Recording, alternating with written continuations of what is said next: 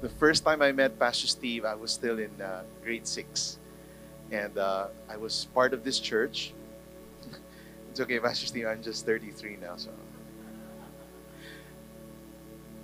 But there was one message that resonated years ago uh, when I when I first stepped into this church. In fact, my very first church was Victory Makati at Makati Sports, the first generation Makati Sports Club, right? And there was one message that resonated, which was really the next generation.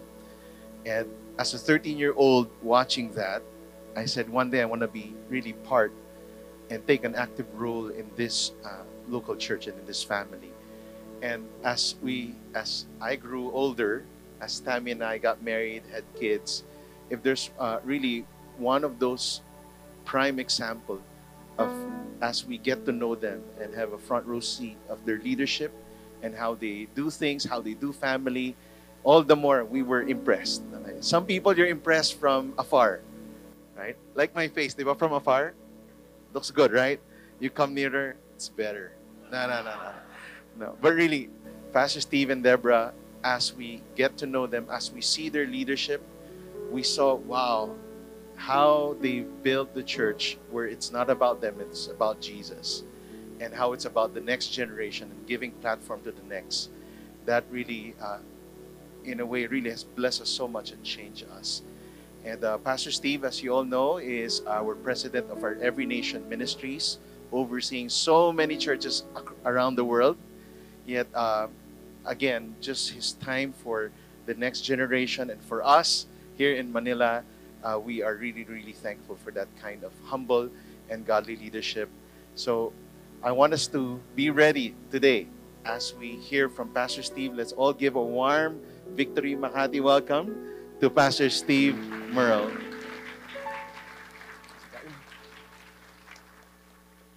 Pastor Dennis, and I don't see Tammy yet, uh, maybe other services, but anyway, I am so grateful for your friendship and your leadership. And a lot of people love to do the work of the ministry. Not many people want to carry the weight of the ministry. And your pastor carries the weight of the ministry, not just for Makati. But Dennis, thank you for the way you have led not only here, but all over Metro Manila and in our nationwide and throughout the Asia region and the way that you have carried about leadership. It's an honor to work with you, and this is an honor to be here with you. So thank you, Pastor Dennis. Can we give him a big um, This is an incomplete picture of my family. We have a new grandchild. I think my my uh, the wife of my youngest son was pregnant in this picture, so we have nine grandchildren. And uh, for those, I, I know we just heard someone talking about maybe the uh, listen, it gets better and better the older you get. I'm 64. I'm approaching middle age right now. And middle age is good. I refuse to be a senior. Um, I have three sons, all born and raised here, and lived many, much of their life here in Makati. Three daughter-in-laws, and as I said, nine grandchildren, and one wife, whose Dennis is dressed like her today. Um, my middle son, wife is Japanese. She was born and raised in Tokyo, lived there her whole life. Now she lives in Nashville, Tennessee, and that is another planet, not just another city from Tokyo. And it's kind of a weird thing that she goes home to Tokyo to visit family, and then she leaves Tokyo and goes home to Nashville. Um, my youngest son's wife is Filipina. Her Lolo and Lola migrated from Nueva Ecija to America more than 60 years ago. And when I'm with Lolo, he feels like the province is his home after 60 years in America. But when he's there, he doesn't really feel home because much of his family is in the U.S. My wife and I lived in your nation for 24 years. It was a great privilege from God and privilege to raise our children here. Um, it's kind of weird because a week ago we came home to here, but in some ways it's not home. But when we're in Nashville and when we leave here, we will go home to Nashville. and there will be something missing. All of my sons feel that way. They were born here. They went to high. School, they were born in Makati Med. All three of them. Uh, they all three went to high school in Antipolo. Then one by one went to college in America, feeling like foreigners. And they would come home here, but they're not Filipino, and they never will be. But yet they're not fully feeling and thinking like Americans. You ever feel like you don't really belong? You sort of do, but you sort of don't. No matter how much we accumulate in this world, no matter how many friends, no matter how much money, no matter how many uh, cars or whatever the thing is that kind of makes you feel good for a moment, there's always something missing. And I don't mean just for non Christians, I mean for believers. I mean for, for Holy Spirit filled, all in, serving Jesus Christians. C.S. Lewis summed up that feeling like this if I can read my own handwriting. If not, I'll try to read it from the screen. I might do better with that. If I find my in, if I find in myself desires which nothing in this world can satisfy, the only logical explanation is that I was made for another world. Today's sermon, today's text is not about this world, it's about that other world. That we will never fully have everything functioning properly until we get there. But so many of us try to make this our eternal home. And no matter what we do, we come up empty. And I'm going to tell you why today. Turn with me in your Bible, and I'd like to ask you to stand up. If you don't have a Bible, that's okay. You can op- just hold your phone, don't turn it on, and pretend like there's a Bible in there. or you can look at the biggest Bible in Makati on these beautiful screens, okay? Revelation 21, and we're going to read verses 1 through 8. And it was I found this fascinating. People are preaching this text all over the world in 80 nations today in our Every Nation family. I was on the phone with my son, uh, who's pastoring a brand new church in Nashville. This is his sixth Sunday, brand new church. And he's preaching this text. And while he was putting his kids to bed and trying to get them to bed, we were chatting a little bit driving here with Waze telling me I'm turning the wrong way uh, about this scripture, about this other world that we are designed for. Here we go. Revelation 1:21. Then I saw a new heaven and a new earth. For the first heaven and the first earth had passed away, and the sea was no more. And I saw the holy city, New Jerusalem, coming down out of heaven from God, prepared as a bride adorned for her husband. And I heard a loud voice from the throne saying, Behold, the dwelling place of God is with man.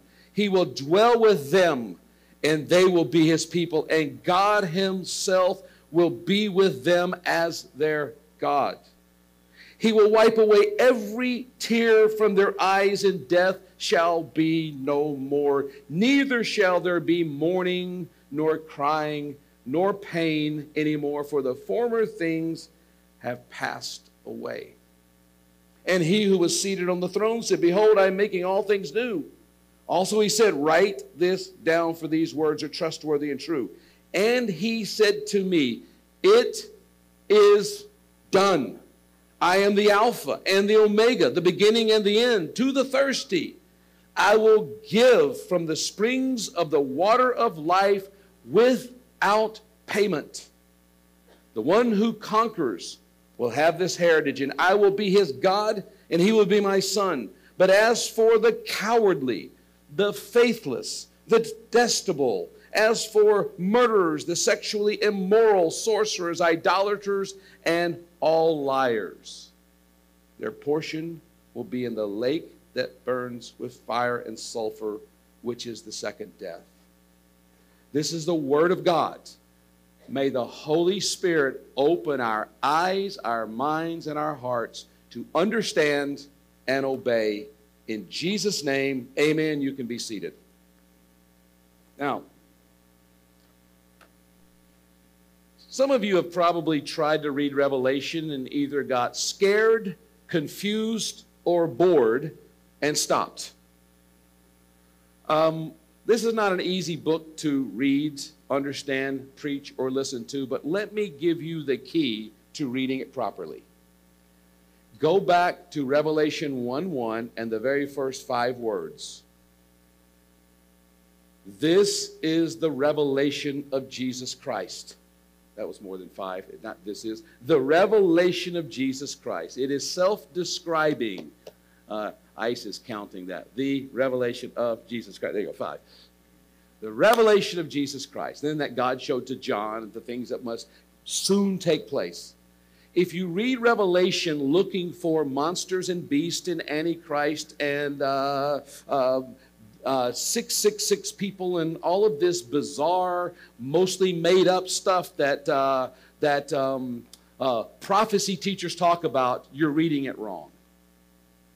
It's not a revelation of that, it's a revelation of Jesus Christ. Re- it's revealing Christ. If you read Revelation to find Christ, you will find him. And you'll understand it. Also, if you read Revelation, realizing it is the most biblical of all books in the Bible, meaning that Revelation quotes the Bible constantly. There are approximately 500 times in these 22 chapters where there's a reference to another place in the Bible. There's an exact quote, there's a reference, there's a story, there's imagery. And so sometimes we get confused in Revelation because we don't really read the Bible and we don't know the Bible very well, so we don't know what it's talking about with the Bible imagery. So focus on Jesus, read it in the context of the whole Bible it'll make sense.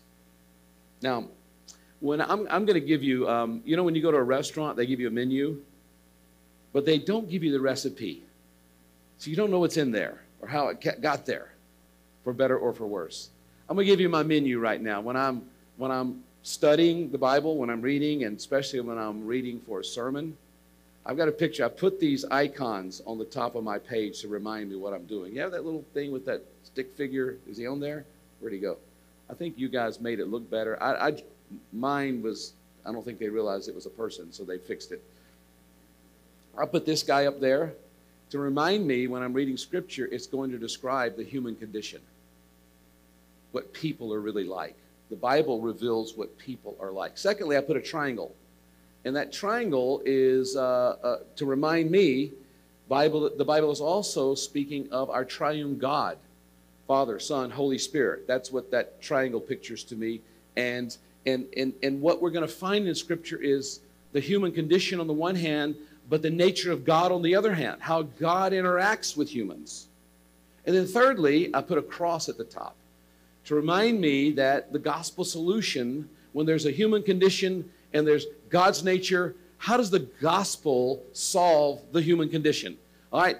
I have never in my life decades of studying and teaching and preaching the Bible, seen a scripture that so lines up with that as the one we're looking at today. So I had to, I had to tell you, Pastor Dennis, that's, that's where we're going. All right, here we go. The human condition. If we look, um, I, you see up there the word death seven times in this passage we're looking at and the few verses prior. Seven times you have death or dying or dead. All right. And John was seeing dead people everywhere. He's having this vision. And he's describing what happens. And it is, it is a little bit scary. If you back up to chapter 20 and you'll start seeing this. Now, I have a picture. I do you have that picture? I, I took this last Sunday when I first got to the Philippines. When we landed, what I do in the Philippines is when I get here and I'm jet lagged, I go into um, what used to be my son's bedroom, now it's my study. And my view looks out over that is the American Manila Memorial Cemetery. And I open the shades at sunrise, and I have a reminder of the fragility of this life, of the certainty of death, the hope of the resurrection, and the coming judgment day. Why? Because that's my view. I'm looking out over that from my apartment in BGC. And what I'm, what I'm looking at are 16,859 graves, dead people there. All of those little white dots are either crosses or a few stars of David. And there are people who died in World War II, Americans who died in World War II, right there. They're buried there. there. I'm also looking at, you can see that circular white part on the left of the screen. On that, there are 36,286 names of dead people, but they never found the bodies. They died when submarines were destroyed, or ships were sank, or airplanes crashed into the ocean during the Battle of Leyte Gulf and others. I'm looking out, and my first thing every morning when I'm here is a reminder of death. I know this isn't a real happy sermon right now, but Hang on. I'm grateful for that reminder. I'm grateful that I get to wake up and I'm reminded that this world, whether I'm in Manila or Nashville, is not my real home. This is temporary. But there's an eternity waiting for me. And therefore, whether my life is going the way I had hoped or not, this is very temporary. This is preparation for eternity. So I'm looking at that. I'm thinking about chapter 20. And verse 11 speaks about the great white throne judgment. Uh, verse 12 says, And I saw the dead, great and small.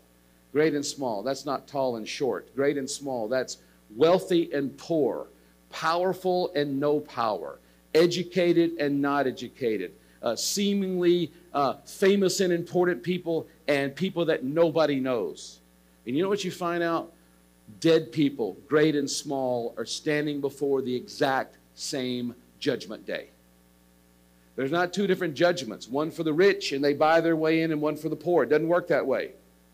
There's not two different measures of eternal judgment one for the rich and famous and educated and powerful and people with all the stuff and all the power here on earth, and those with none of that. There aren't two different lines. There's not a way to uh, either speed up or slow down this. It is the exact same for everyone. And he says, I see these dead people, great and small, standing before the throne, and then books are opened. And there's two books. It doesn't clearly say what's in the first one, but it seems like it's everything we've ever done, thought, should have done, didn't do, uh, wanted to do. Did, uh, it's all there. And then it says there's a second book, and it's the book of life, and it says this the dead were judged, the great and the small, judged by the same standard. The dead are judged by what was written in the book and what they had done. Remember this phrase when we get to the end of this sermon. Around 2 o'clock. Remember this Judge by what they had done. Judge by what they had done. And then it says the sea gave up, gave up the dead. And then it says there was death and Hades gave up the dead. And says again, they were judged. Each individual was judged. And death and Hades were thrown into the lake of fire. Then we see this idea the lake of fire over and over. It just keeps repeating this lake of fire. I, I, I don't know. That doesn't sound good to me. And then he calls it the lake of fire the second death. We die once physically, and then we die. The second death talks about this eternal death. There's a temporal death, and there's an eternal death. Then we get to verse 21, chapter 21. Then I saw the new heaven. So here's the here's this judgment stuff in chapter 20. Then we get to 21. There's this new earth, a new heaven, and new, new, new, new. But what is the human condition? What is it? It's described here as death. And I would add this death by sin. Genesis chapter 2, in the garden, God says you can eat anything you want. The first commandment God gave was everything is yours. All of it. He commanded, eat all of this, but there's one tree. If you eat it, you will surely die. Everything else is yours. And so, guess what we want? Humans are the same yesterday, today, and forever. If you've raised kids or grandkids, you know whatever's forbidden is what they want. And if you are not a kid or a grandkid and you're somewhere in the middle, then you know that what every one of us want is what's forgiven. What forgiven? What's forbidden? Jet lag moment, not a senior moment. The human condition is one of sin and death. So, that's bad news. What is the nature of God? What does this speak to us? What does this text tell us about what is God really like? There are a lot of distortions of God out there, all kinds of religions that make up gods, many, many, many gods. And within Christianity, there are a lot of misconceptions of what God is really like. Let's look at what this says. What is God really like? And I want to zero in on verse 3 of chapter 21 and this word dwell. The nature of humanity is death by sin. We're all going to die. And then comes a judgment. But what is God like? Verse 3 This loud voice came from heaven, and it said, The dwelling place of God is with man. He will dwell with them, and they will be his people. God himself will be with them as their God. The nature of God is to want to dwell with humans, to want to be with us, to want to have his presence with us, to have a relationship with us. That's the story of the Bible. It starts in Genesis, this idea of God dwelling. Genesis 3, chapter verses 7, 8, 9, around there. And when, when man has sinned, when Adam and Eve ate the one thing they weren't supposed to eat, they could have eaten everything else there, this huge just buffet everywhere they looked and they got the one thing that would kill them. What did they do first? They covered it up. Then they heard God walking in the garden and they hid. What we tend to do is sin, cover it up, hide, and run from God. Some of us run to religion to hide from God. Some of us run to all kinds of vices to hide from God. Some of us run to good work. Some of us run to vices. Some of us run to addictive behavior. We run to all kinds of places trying to hide and trying to assuage the guilt and trying to get that sense of not belonging here to somehow shake it. And all the while, God desires to dwell. And we see that throughout Scripture. When man sinned and hid and ran, God pursued. God's walking in the garden saying, Adam, where are you? God knew where he was. He wanted to give him a chance to answer. Where are you? Genesis, we find God seeking to dwell with man. Exodus, toward the end of Exodus, we find God giving instructions how to build the tabernacle where his presence would be. The book of Leviticus is all about the regulations of how to get close to God in that tabernacle. Over and over, the Old Testament, from the beginning in Genesis, the message is God wants to be with humans. He wants his presence there. He wants relationship.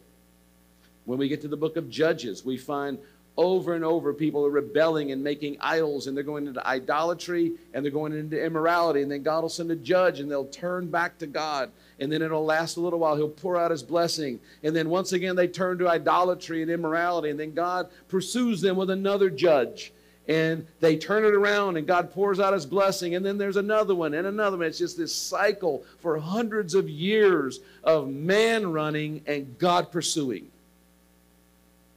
You can take that through the whole Bible. David sins against God with, uh, with all kinds of moral and violence and all this stuff, and God pursues him. He sends his prophet Nathan, go see if you can turn this guy around. That's what God relentlessly pursues. The ultimate pursuit happened in Bethlehem. What we celebrate as Christmas now, Bethlehem is on the east side of the West Bank in Palestine, where Jesus was born. God coming in human flesh to be with. He, and he was prophetically called Emmanuel, God with us. God wants a relationship with you. He wants a relationship with me. He wants to be with us. He wants to dwell, not just occasionally visit. Some visit God every Sunday. That's a good thing to do. But He wants more than this. This is really good to be here today and to sense His presence. But He would like to see you more than once a week on Sunday at the Diamond residency. He wants to dwell with you in your life, in your home, 24 7. The nature of God is to see. The human condition, condition, sin and death. The nature of God is to pursue so he can dwell with us. The gospel solution, we drop down to verse 6, and it's summed up in this word, done. I know this isn't good English, but it really comes down to who done it. Whether we're going to have a relationship with God. If you look back at the verse I referred to a while ago, chapter 20, verse 12, it says that the people who experienced the second death, they were judged before God by what they had done. If we take everything we have done on Judgment Day and pile it up to God and say, Here, I go to church, I'm a good person, I've helped the poor, I've just whatever the list of all the good things we have done, and we pile it up there, you know what happens? Second death, eternal death. Because that's not how this works. How do we know when we have ever done enough good? It's not a big scale. Okay, there was three years of bad and two and a half years of good, and then a month of really, really bad, and then a month of super good, and, and it's this big scale. That isn't the way it works. But it's centered in this word done. Maybe I could say it like this. This would even be worse English. Who done what? How about that? How about that, Dennis? If we stand before God based on what we have done, like these people in chapter 20, verse 12, we're in trouble. But look at what it says in verse 6 of chapter 21. And he said to me, This is the one who's sitting on the throne. He said to John, the guy having this vision, he said, It is done. And it's sort of John quoting himself. John's quoting himself. John wrote this, and John wrote the book of John in John 19:30.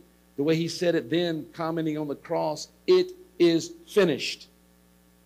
And there he says, It is done. I am the Alpha, the Omega, the beginning, the end. To the thirsty. And again, he goes back to quoting himself of what he said about Jesus on the cross, when he said, I thirst. And then he says, I give from the spring of the water of life. That's John quoting himself in chapter 4, verse 14, the woman at the well encountering Jesus. And Jesus said, Look, if I give you water of life, you'll never thirst again. And he starts explaining salvation to this woman. He's quoting himself in the scripture all through. But the key to it is this next phrase without payment. This water of life, this symbol of eternal life he didn't say, Look, when you get up here, you bring what you have done, and we'll measure that out and see if it's enough. What this voice from the throne says is, It is done. What he said on the cross is, It is finished. And what that means is, It is all paid. It was, it was an accounting word, tetelestai in Greek. It was an accounting word. It is finished. All the accounts are balanced. All the bills have been paid. There is no more debt. It's been paid off. Finished. Wouldn't that be great? It's not, let me see how much he's done and bring that and let's see. No, finished, done. But who did it? Us or Jesus? And what he says, and the key is this without payment. Without payment. That's a reference to Romans 3 in verse 23, where, where Paul said, for the wages of sin is death, but the free gift of God is eternal life, not based on your works and what you have done. The free gift of eternal life in Christ because of what he did on the cross. Now, a lot of people preaching, I'm wrapping up now, a lot of people preaching this text today. I don't know why but a lot of people ended at verse 7. Actually, I do know why. Because we really want to make people happy. But this series is on holiness.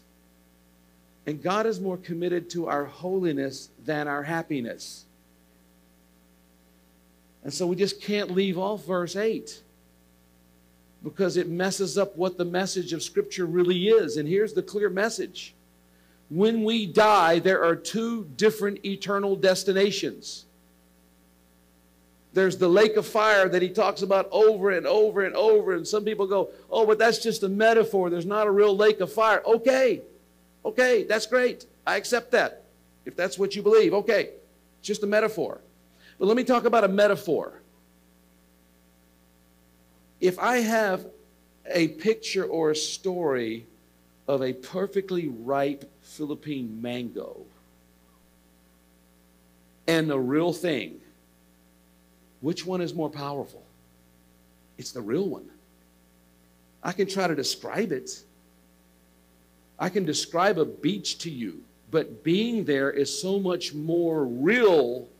And so, okay, maybe lake of fire is a metaphor, but the metaphor is always minor and sub and not really the reality of the thing. So, what that tells me, it's worse than that. Only two destinations. Verse 1 through 7 explain the new heaven and the new earth, and we get there not because of what we have done, but because of what Jesus did on the cross. It's a free gift of salvation.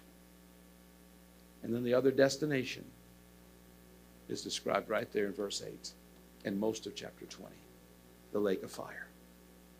Metaphor or not, it's a second death. September 11th on 911, I was in my home in Valle Verde talking to my dad. It was evening here, it was morning there. My dad's birthday is September 11th. We were talking on the phone, and then he goes, Are you watching this? And planes were crashing into the buildings in New York, and he narrated for me on the phone. Two months later, he was in ICU. Never forget it. My sister calls. He's in ICU.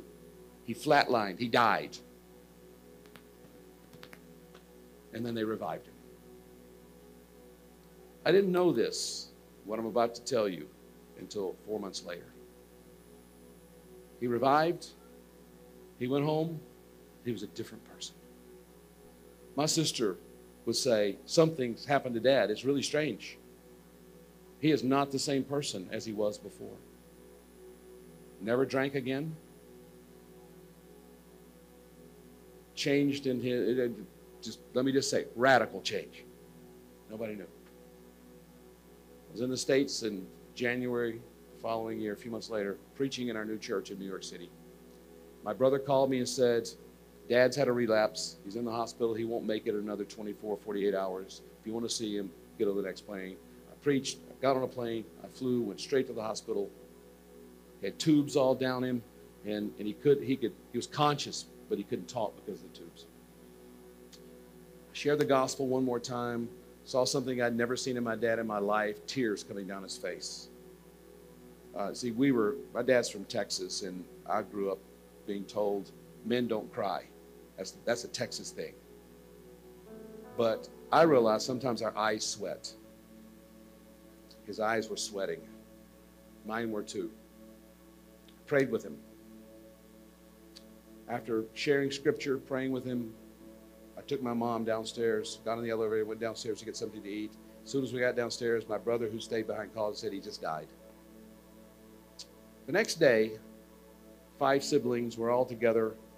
My youngest brother as we're going through the will, my dad's every detail of the will was there. I mean, everything down in detail. He would meet with us every year and go, "Hey, here's what I've changed. Here's what you know." It, he was very. He, he made it a lot easy, really easy for us. My younger brother, he said, "Steve, did Dad ever tell you about that weird vision that he had when he when he died, when he flatlined uh, months ago?" Said, "No, what?"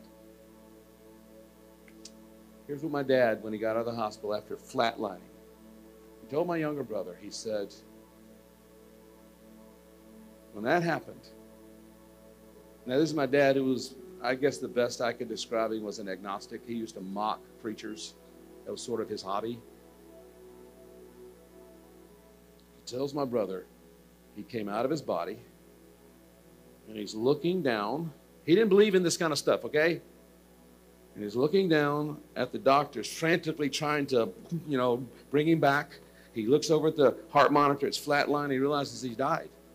He turns around. This is, this is what he told my brother. He turns around and he's face to face with what he perceives as Jesus. He can't see his face because it's just glowing. This is going to be weird right now, okay? Some of you it's going to be cool. Some of you are going to, that's heresy. He's holding in one hand a Bible, in the other hand, Bacardi rum. That's how my dad made most of his money. He was the marketing director for 28 liquor companies. Bacardi was the biggest, and he was his best client.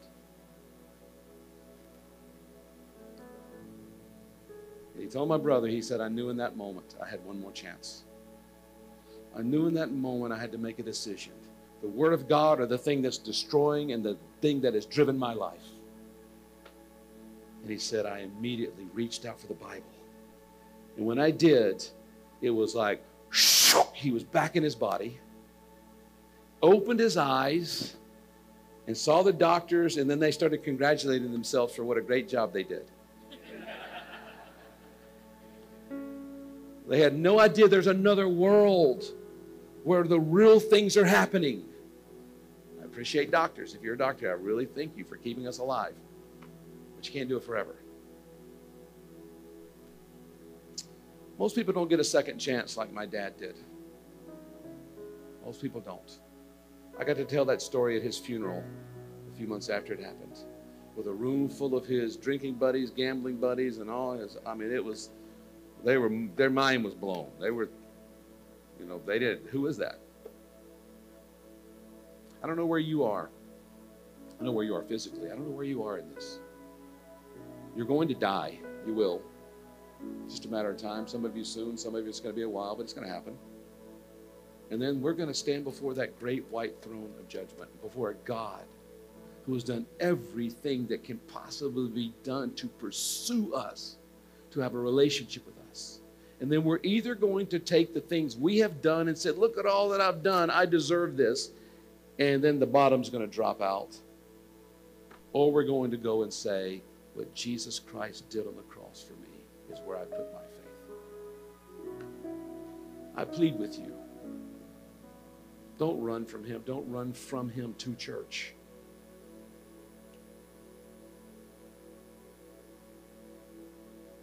Stop trusting in what you do for him and put your faith in what he's done for you. That's what Christianity is. Let's pray. Lord, thank you that you are a God who loves us and pursues us. And we are a people who are sinful and run from you. Lord, may this moment we have today cause us to stop and turn and put our faith in you. Lord, I pray that you would reveal yourself powerful way today. In Jesus' name. Thank you, Pastor Steve, for that word. Is it okay? I felt like the Holy Spirit is leading us into something today as we end the series on holiness. Some of you might be in church for the longest time. You've heard messages like this. Some of you, ah, I know already. I know that's, I know what's going to happen. But I really want you to think hard of where you are with God. You know, it's so easy to say, oh, I'm pursuing the things of God, and I know this God. But it's another to reflect and see how you live your life, where you are. And I believe the Holy Spirit wants to minister to us today. And I want us to be in an attitude of prayer. Can we just close our eyes and pray? And again, we don't know where you are today. But if you're here, you're saying, Lord, I want to surrender my life to you. Lord, I choose you. Lord, for the past few months, as we have been talking about holiness, the Holy Spirit has been speaking to you. Maybe today's your day of surrender. Today you say, Lord, I surrender to the Lord. You're saying, I'm open for an encounter with God. I want to receive the gift of God in my life. And I know you've heard the messages, and I know you prayed through some of them. If you're here today, you're saying, I, I believe today's my day of decision. Today I decide to follow Christ. Turn back from my sin, repent of my sin, and follow Jesus. Okay, just lift up your hands. We're going to pray. You're saying, That's me, yes. Just lift it up high. Yes, yes, yes, yes, yes. The Spirit of God is speaking to you. Just lift up your hands. If that's you, you can be a long-time member of this church, but it's just today you're saying, Lord, I'm making this decision to repent of my sin and follow Christ. Just lift up your hands. Thank you. Thank you. Can we all stand up right now? If you're lifting up your hands, all right, can I ask some of our small group leaders, just lift up your hands, right? Those who wants prayer would like you would like our small group leaders to approach you. Let's pray now. Okay, just continue lifting up your hands. Father, we thank you for my brothers and sisters who are making this decision today to follow you and to repent of our sin. Lord, we're crossing over from death to life. Lord, you said that you will dwell among us. Lord, that you will dwell in our hearts. So today, Lord, we come. Lord, we receive your gift of grace, your gift of love and of holiness. Lord, we repent of our sin. If you know you have sins in your heart that you need to repent of, can you do that right now? I want you to take this time to repent of your sin and say, Lord Jesus, I'm turning back. Turning away from sin and turning to you.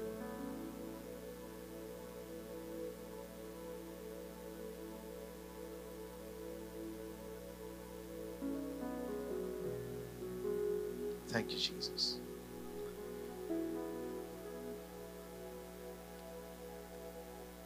Lord, we thank you. Because all throughout Scripture, from text that we read in Leviticus, and how, Lord, you've overcame God and even remove all the steps so that we can enter into your most holy presence. Lord, today we're making that decision. We repent of our sin and we surrender our lives to you. Lord, we thank you. We thank you for your great gift of love. Thank you for your death on the cross that saved me. Thank you for this message today that reminds us of a greater option